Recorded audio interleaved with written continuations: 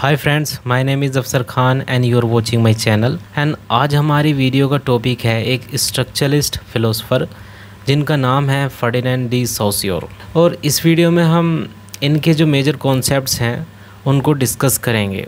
उनको आसान लैंग्वेज में समझने की कोशिश करेंगे। So let's start the video तो फर्डिनेंडी सोसियोर का जो टाइम था वो 1857 से 1930 तक रहा और ये एक स्विस लिंग्विस्ट और सेमेटिशंस और फिलोसफर थे। ऑल ओवर द वर्ल्ड में इनको और इनके दूसरे साथी चार्ल्स आंद्रेस पियर्स को ट्वेंटी सेंचुरी लिंग्विस्टिक्स का फाउंडर माना जाता है। इसके बाद 1875 में इन्होंने यूनिवर्सिटी ऑफ़ जेनोवा में फ़िज़िक्स और केमिस्ट्री की पढ़ाई की। इसके बाद में वो लिप्जिग यूनिवर्सिटी में 1876 में इन्होंने कई सारी लैंग्वेज की स्टडी की। इसके बाद में इंटरेस्टिंग बात है ये कि इन्होंने 18 मंथ संस्कृत पढ़ी और ये संस्कृत के टीचर रहे। सो so, ये कुछ चीज़ें इनकी पर्सनल लाइफ से जुड़ी थी। अब हम बात करते हैं इनके कॉन्सेप्ट्स की। तो इनके कॉन्सेप्ट जो हैं वो स्ट्रक्चरलिज्म पर बेस हैं। स्ट्रक्चरलिज्म के बारे में है तो इनके कॉन्सेप्ट पर बात करने से पहले हम जान लेते हैं कि स्ट्रक्चरलिज्म क्या होता है। वैसे इससे पहले वाली वीडियो में हम स्ट्रक्चर के बारे में बात कर चुके हैं कि स्ट्रक्चर क्या होता है। आप आई बटन से या डिस्क्रिप्शन से वो वीडियो देख सकते हैं। फिर भी कुछ बेसिक फैक्ट्स जो हैं हम यहाँ पर डिस्कस कर लेते हैं कि स्ट्रक्चर क्या होता है और ये लिटरेचर से कैसे रिलेटेड है। सो व्हाट इज़ स्ट्रक्चर तो ये तो हमें सभी को पता होगा कि हर एक चीज़ का एक स्ट्रक्चर होता है। कोई भी चीज़ एक छोटी से छोटी यूनिट से बनती है और वो यूनिट एक स्ट्रक्चर बनाकर पूरे चीज़ को आकार देती है। जैसे हमारी बॉडी होती है खुद की, उसमें सबसे छोटी जो यूनिट होती है वो सेल्स होती हैं, उसके बाद में बोन्स आती हैं मसल्स आती हैं, इस तरह हमारी पूरी बॉडी बनती है।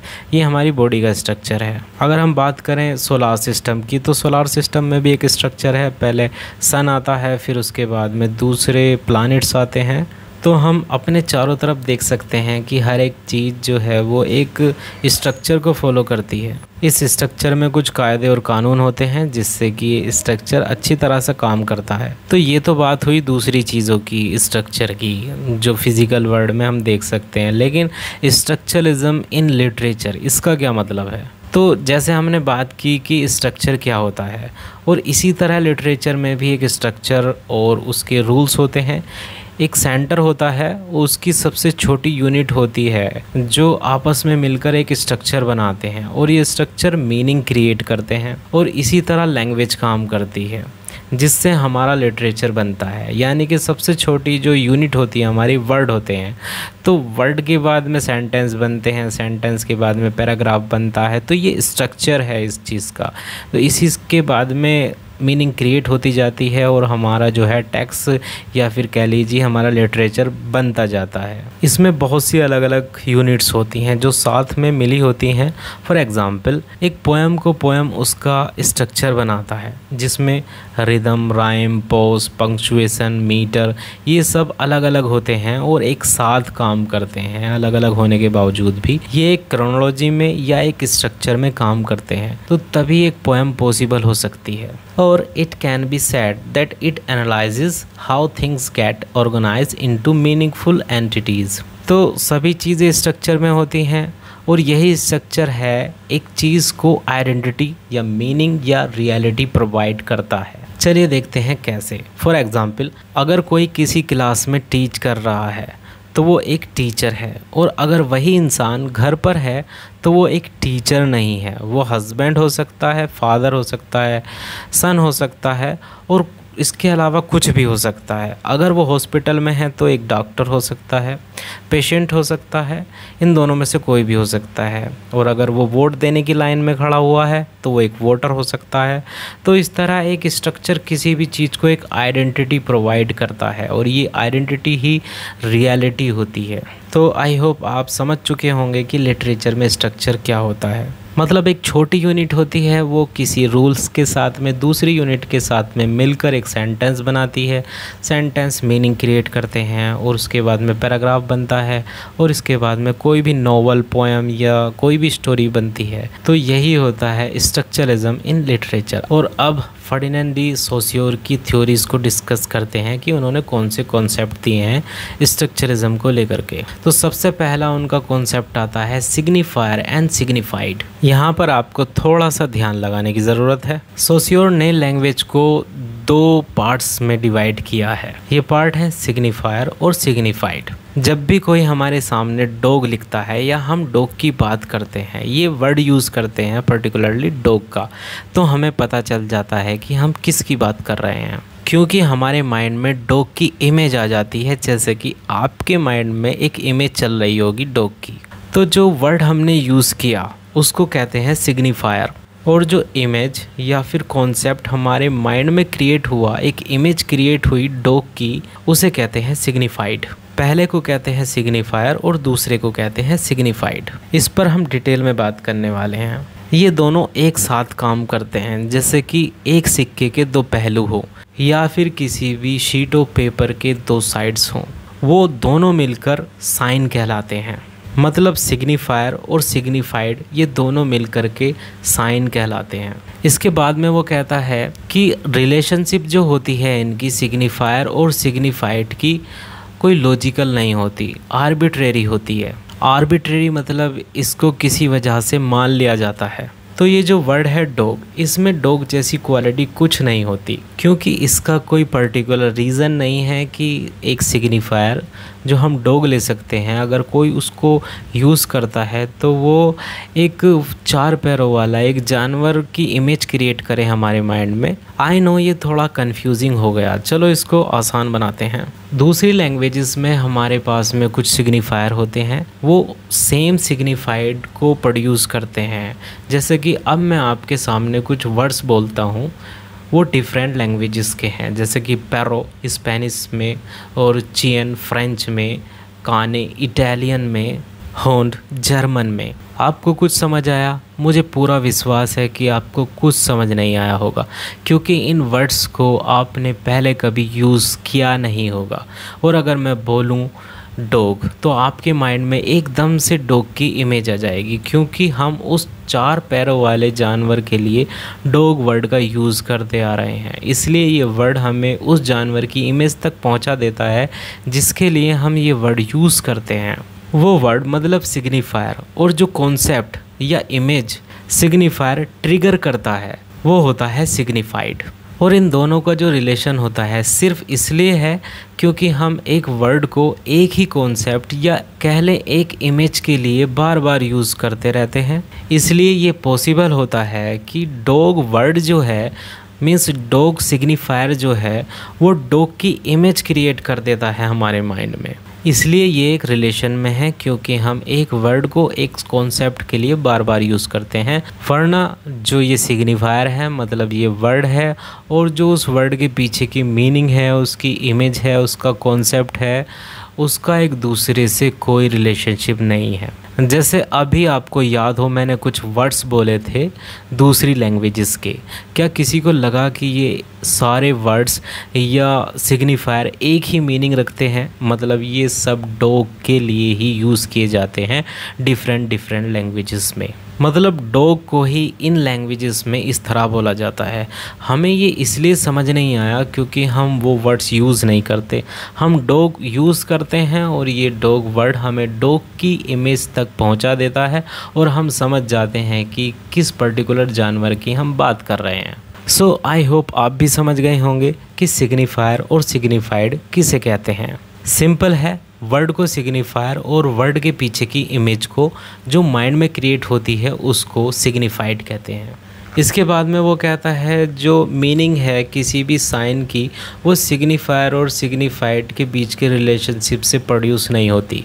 जो मीनिंग है, वो प्रोड्यूस होती है डिफरेंसेस से और रिलेशनशिप से। इस टॉपिक पर भी हम डिटेल में बात करेंगे आगे इसी वीडियो में, लेकिन अब बात करते हैं कॉम्बिनेशन एंड सिलेक्शन पर। सोसियोर के अकॉर्डिंग मीनिंग जो बनती है, वो बनती है कॉम्बिनेशन और सिलेक्शन के प्रोसेस पर। और ये सिलेक्शंस और कॉम्बिनेशन जो हैं, वो हॉरिजॉन्टली एक्सेस पर हो सकते हैं, जिसे सिंटेगमेटिक कहते हैं, या फिर वर्टिकली एक्सेस पर भी हो सकते हैं, जिसे पैराडिगमेटिक एक्सेस कहते हैं। अगर आपको डिटेल में जानना है सिंटेगमेटिक और पैराडिगमेटिक के बारे में तो इससे पहले मैंने एक वीडियो अपलोड की है, रोमन जेकोब्सन की। उसको देखिएगा, उसमें पूरी तरीके से मैंने डिटेल में बताया हुआ है कि ये सारी चीज़ें क्या हैं। फिर भी कुछ चीज़ें डिस्कस कर लेते हैं। For example the sentence, Miriam made chicken today. ये जो सेंटेंस मैंने बोला, इसके जो वर्ड हैं, वो एक दूसरे के साथ में जुड़े हुए हैं और एक मीनिंग क्रिएट करते हैं। हर एक वर्ड एक दूसरे से अलग है और एक स्ट्रक्चर में है मतलब एक रूल को फॉलो करता है। इसलिए इसको कहते हैं सिंटिगमेटिक एक्सिस ऑफ़ लैंग्वेज इसके बाद में अगर पैराडिगमेटिक की बात करें तो substituting certain parts of the sentence for new parts can also change the meaning for example जैसे मैं बोल सकता हूँ, मैंने पहले बोला था मिरियम मेड चिकन टुडे और दूसरा सेंटेंस मैं ले ले सकता हूँ मिरियम मेड सैलड टुडे तो यहाँ पे हमने क्या किया? यहाँ पे हमने चिकन की जगह सलाद ले लिया। तो ये होता है प्रेडेगमेटिक एक्सिस जो वर्टिकली होता है। यानी कि बहुत सारे हमारे पास में वर्ड्स होते हैं, उसमें से हमें एक को चुनना होता है। और जैसे ही हम उस वर्ड को चूज़ करते हैं, पूरे सेंटेंस की मीनिंग बदल जाती है। तो हम ये भी कह सकते हैं कि एक सेंटेंस की जो मीनिंग प्रोड्यूस होती है, वो सिलेक्शन और कॉम्बिनेशन से प्रोड्यूस होती है। यानी कि पहले वाले सेंटेंस में हमने देखा कि किस तरह से कॉम्बिनेशन है उन सारे वर्ड्स का। मींस एक सेंटेंस में सब्जेक्ट होता है वर्ब होती है ऑब्जेक्ट होता है। ऐसे ही एक सब्जेक्ट मीनिंग बनाता है। अगर हम कर दें ऑब्जेक्ट पहले ले आएँ, फिर उसके बाद में सब्जेक्ट आ जाए तो वो मीनिंग क्रिएट नहीं करेगा। और इसके बाद में दूसरी तरफ़ पैराडिगमेटिक में हमने देखा कि हमें जो है वर्ड्स को चूज़ करना होता है, उसके बाद में मीनिंग जैसे जैसे हम चूज़ करते जाते हैं, वैसे वैसे मीनिंग बदलती जाती है। हम कितनी भी मीनिंग बना सकते हैं, जैसे जैसे हम वर्ड्स को सेलेक्ट करते हैं तो मीनिंग बनती है सेलेक्शन और कॉम्बिनेशन से। इसके बाद बात करते हैं फर्डिनेंडी सोसियोर की रिलेशनल थ्योरी ऑफ़ लैंग्वेज की। वो कहता है कि जो वर्ड्स हैं, वो एग्जिस्ट करते हैं दूसरे वर्ड्स की रिलेशन पर। Means words existed in relation to other words और दूसरा ये कि किसी भी वर्ड की जो मीनिंग है, वो डिपेंड करती है दूसरे वर्ड की मीनिंग पर। तो किसी भी वर्ड की जो मीनिंग होती है, वो तब बनती है जब हम पहचान पाते हैं वर्ड्स के बीच के डिफरेंसेस को। फॉर एग्ज़ाम्पल चलिए आप ही सोचिए कि कैट कैट क्यों है और डॉग डॉग क्यों है। कैट इसलिए कैट है क्योंकि कैट ना तो डॉग है, ना तो बैट है, ना तो हैट है। वो कैट है, इसलिए वो कैट है। और डॉग भी ना तो कैट है, ना हैट है, ना बैट है।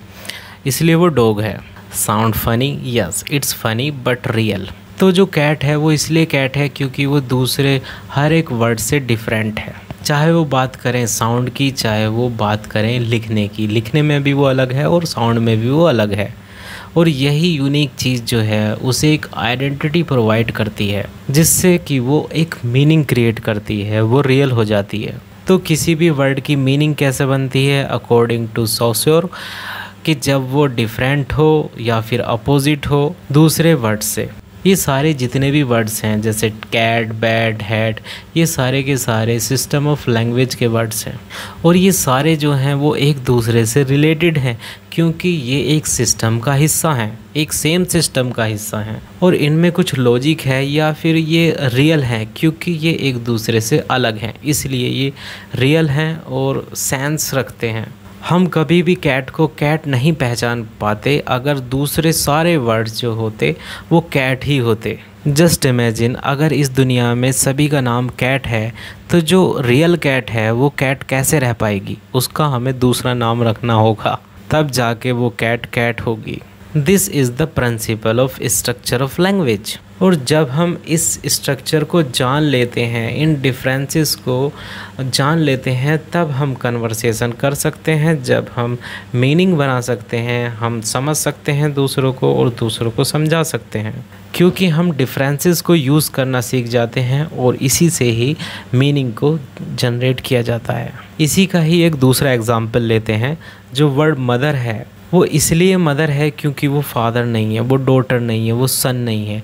वो इन सबसे डिफरेंट है तो वो मदर है। इसे और अच्छी तरह से समझाने के लिए सोसियोर जो है, ट्रेन का एग्ज़ाम्पल देता है कि दो ट्रेन्स हैं और दो अलग अलग स्टेशंस पर हैं।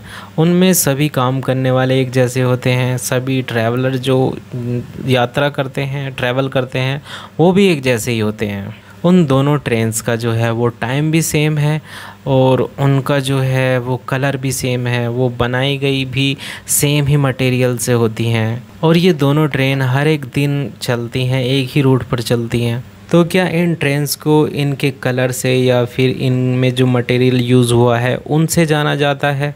नहीं, इनको जाना जाता है क्योंकि ये एक दूसरे से अलग हैं। इन्हें जाना जाता है, इनके टाइम से जो वो चलती हैं और इनके रूट से जाना जाता है। इसीलिए ये डिफरेंट हैं। जैसे कि वर्ड होते हैं, वो एक ही स्ट्रक्चर का हिस्सा होते हैं, लेकिन एक दूसरे से अलग होते हैं और उनका काम जो होता है, वो अलग होता है, इसलिए वो मीनिंग बनाते हैं। आई होप आपको कुछ थोड़ा बहुत तो आइडिया हो चुका होगा इस थ्योरी के बारे में। अब बात करते हैं नेक्स्ट जो उनका कॉन्सेप्ट है, वो है लैंग एंड पैरोल का। इस पर्टिकुलर टॉपिक से काफ़ी क्वेश्चन बनते हैं नेट एग्ज़ाम में।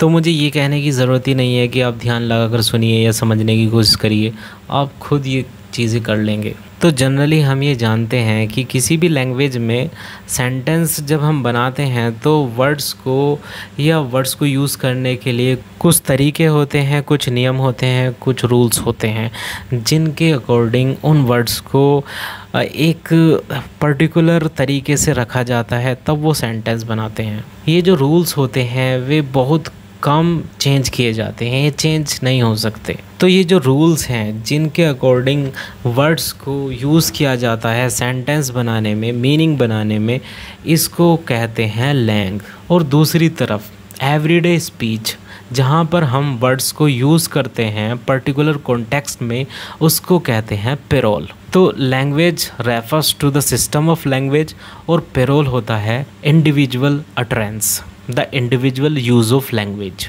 मतलब लैंग जो होता है वो सिस्टम ऑफ़ लैंग्वेज होता है और पेरोल जो होता है उस सिस्टम ऑफ़ लैंग्वेज को यूज़ करता है। मतलब जिस रूल्स और रेगुलेशन से मैं सेंटेंसेस क्रिएट कर रहा हूँ मीनिंग क्रिएट करने की कोशिश कर रहा हूँ आपको समझाने के लिए, उन रूल्स और रेगुलेशन को लैंग कहते हैं और इन लैंग का यानी कि इस सिस्टम का यूज़ करके जो मैं लैंग्वेज आपको बोल रहा हूँ, उसे कहते हैं पेरोल इसे और आसानी से समझाने के लिए सोसियोर ने इसको गेम ऑफ़ चेस से कंपेयर किया है कि किसी भी गेम में एक रूल्स और रेगुलेशन होते हैं जिससे कि उन्हें खेला जाता है। उसको कहते हैं लैंग और जो हमें दिखाई देता है, उसको कहते हैं पेरोल।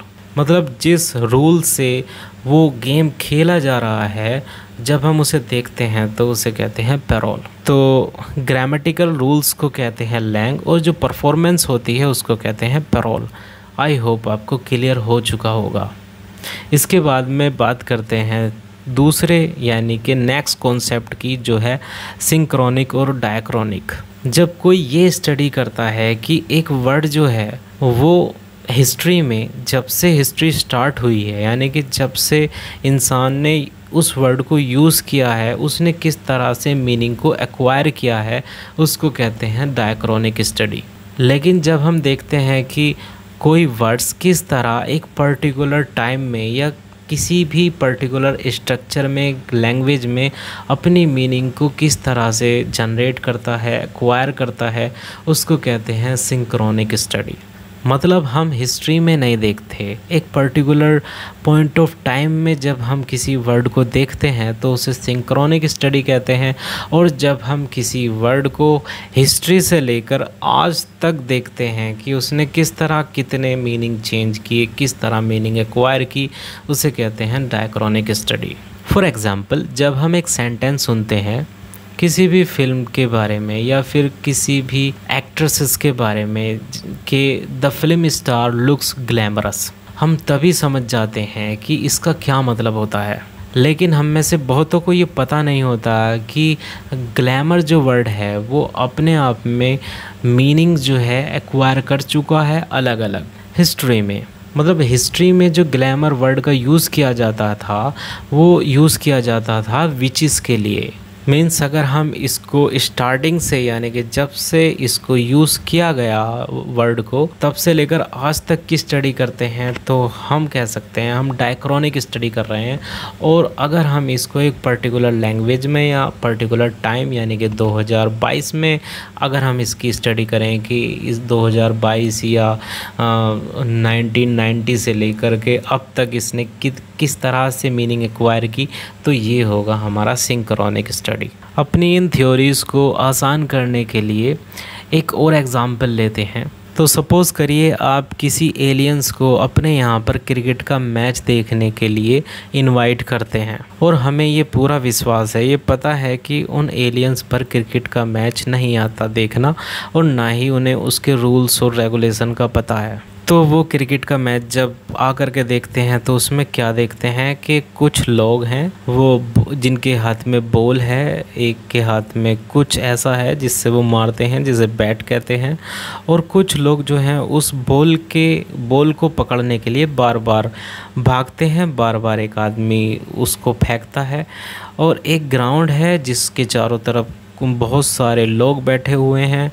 अगर क्रिकेट मैच जो है वो फ़ेमस है, अगर नहीं है तो कुछ लोग हैं। तो उन एलियंस को इस सीन में क्या समझ आया? कुछ समझ नहीं आया क्योंकि उनको रूल्स के बारे में नहीं पता। तो अब आप क्या करते हैं?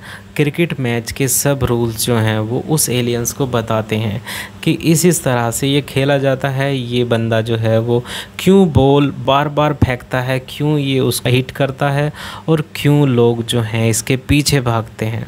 और क्यों ये सारे लोग अपना काम छोड़कर इसको देख रहे हैं? ये सारी चीज़ें आप समझाते हैं कि ये एक इम्पोर्टेंट मैच है, इसीलिए यहाँ पर भीड़ लगी हुई है। तो इस तरह जब रूल्स और रेगुलेशन उसे पता चल गए, तब वो जाना कि क्यों ऐसा हो रहा है। और ऐसा क्यों हुआ? क्योंकि एक स्ट्रक्चर होता है जो हमें समझना होता है किसी भी चीज़ को समझने के लिए।